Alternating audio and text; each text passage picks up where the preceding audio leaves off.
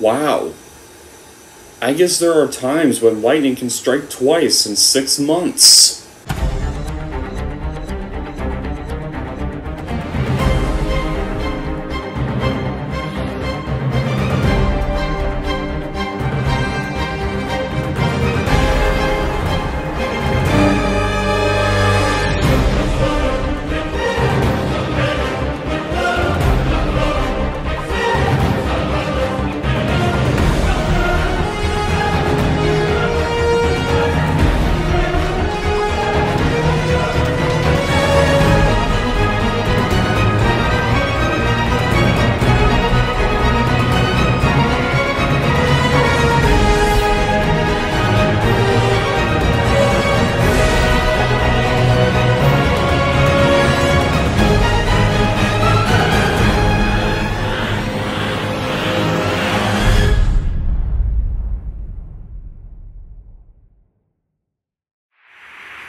Hey everyone, it's Don G. Corleone here, and I'm here with a brand new movie review, and this movie review is going to be for a horror film that just came out this weekend today, on September 16th, and is actually a prequel to a film that was just released earlier this year, around March 2022, and um, it's for another film directed by Ti West.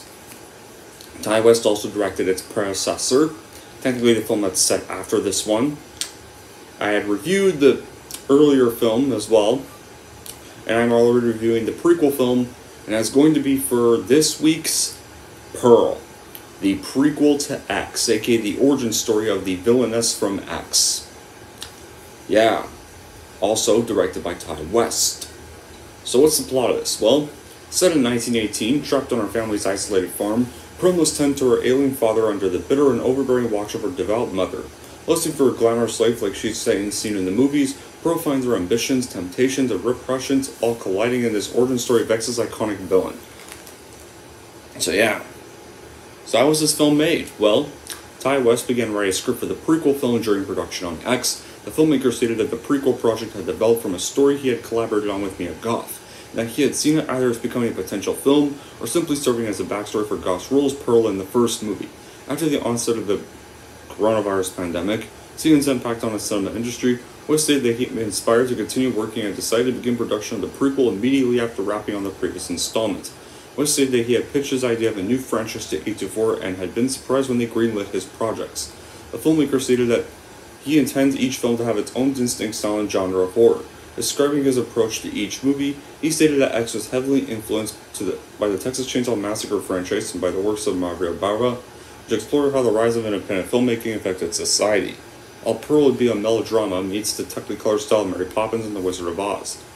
Made as a demented Disney movie, and based on the works of Douglas Sirk, and will explore how Hollywood filmmaking influenced people. West stated that he intends to continue his trend of exploring diverse styles and genre in future installments, and this movie was a joint venture production between A24 and Little Lamb Productions.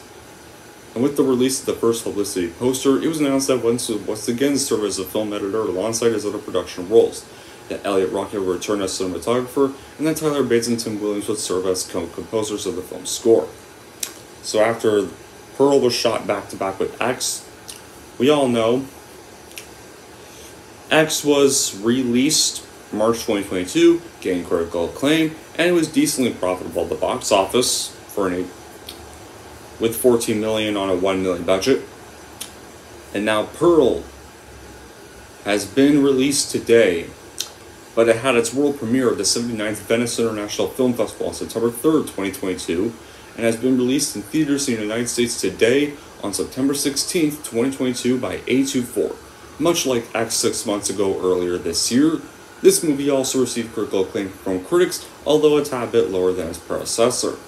As for my reaction, well, I gotta say, I think this has to be my third favorite horror film of 2022 behind its predecessor X and June's Black Phone.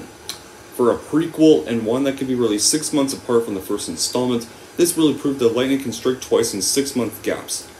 There was times like with Kill Bill and Back to the Future 2 and 3 where it does work with filmgoers, and times like with Matrix 2 and 3, which I still like guys, but this is an example of when it doesn't really work, where most people don't tolerate it.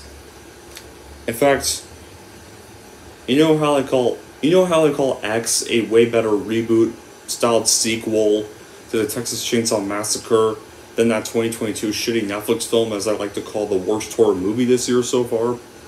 I can call this movie somewhat of a way better prequel to the 1974 original TCM movie than 2017's cheap, cheap Devil's Rejects knockoff Leatherface. It's so crazy how they've already confirmed a direct sequel to X called Max Max Triple X In. Although I hope they give that one a bit of time before rushing it. Mia Goth especially turns in an Oscar-worthy performance as the lead, bringing a devastating sense of humanity too, and for all intents and purposes, a despicable character. Also worthy of praise is Tandi Wright, who played a trapped unsupported mother that keeps Pearl underneath her thumb as the movie unfolds, the growing sense of tension between the two can make anybody who grew up with strict parents' stomach turn. Without going to any further plot details, the reason why I'm, one of the reasons I still go to theaters is to try and discover and experience films like this on the big screen and give the theaters the support they deserve. Everything is impeccably shot, down to the color palette that emulates many classic Technicolor movies. The script is also tight and well written, Mia Goth co-wrote the screenplay this time around even, and it's clear she understands the character profoundly. Her performance is terrifying, and on a dime she's able to flip from sweet and innocent to bloodthirsty and vengeful to remorseful and empathetic all within the same scene, sometimes even within the same shot.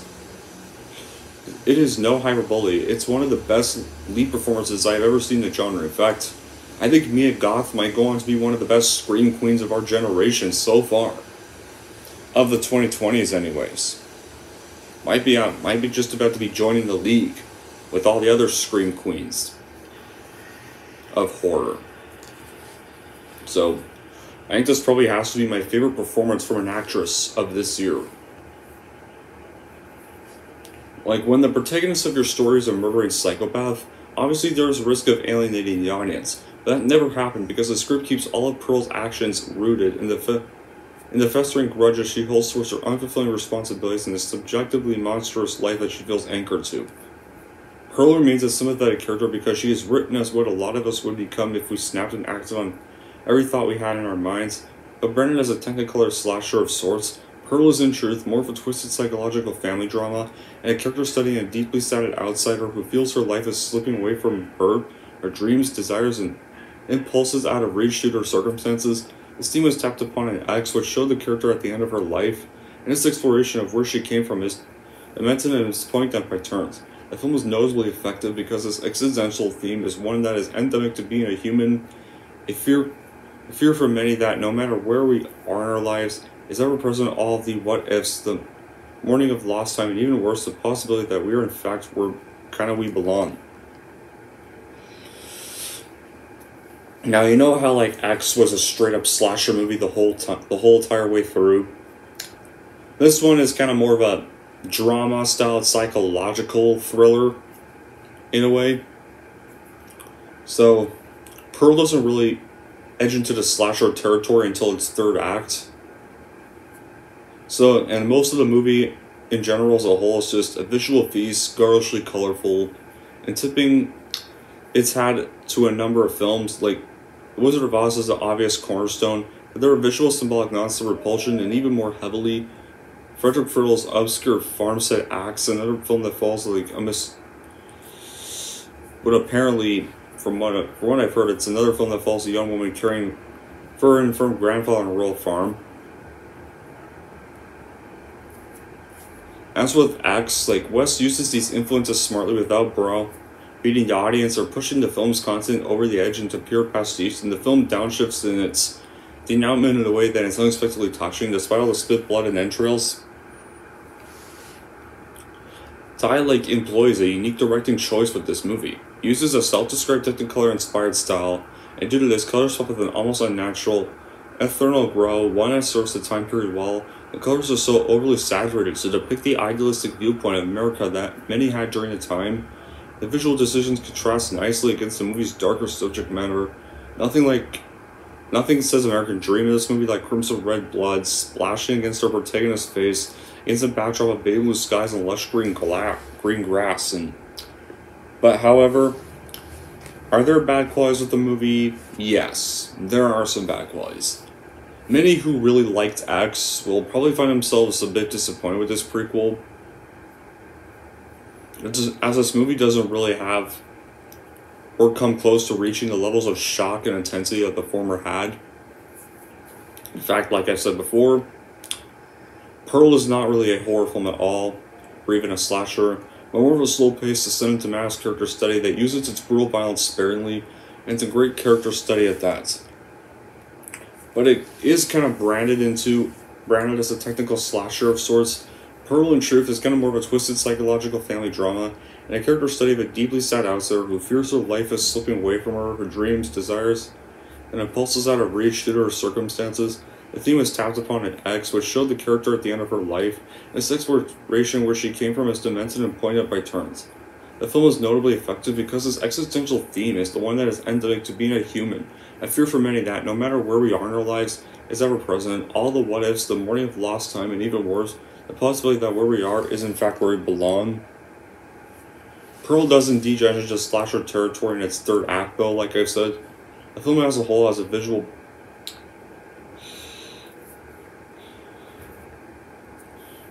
But yeah, like I've already said. So yeah, if you are going to see this, as a little heads up, and if you just want to see the violence, you may be slightly disappointed.